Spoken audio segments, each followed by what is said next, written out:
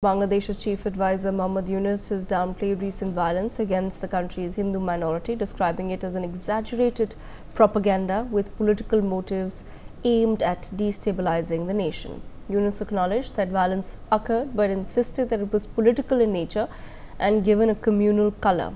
His remarks have come after weeks of protests by tens of thousands of Hindus who demand protection amid a wave of attacks on homes, buses and other religious sites. My colleague Ajay Jandal with us on the broadcast. I should take our viewers through the details. Muhammad Yunus there saying that all the attacks against Hindus are nothing but exaggerated propaganda.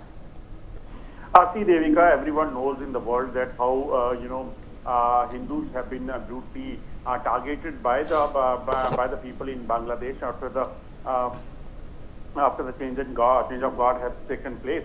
After Sheikh Hasina flee from the Bangladesh, right after that, uh, you know, number of incidents which has taken place in Bangladesh that uh, not only make the people, those who live there, is uh, scary, but also the, the people living all across the world, they know that how Hindus have been targeted. And uh, if our advisor of, uh, you know, chief advisor Muhammad Yunus is saying it is a propaganda, then it means that they know that just to, uh, they have to say this for the face saving uh, only. Otherwise, uh, whatever is happening, that is clearly uh, uh, uh that, that can clearly be seen that it is a uh, intentional, you know, plan of people and those who are holding the chairs of that of them to target Hindus so that they can, you know, make Bangladesh a Islamic country. That is what they are trying to do.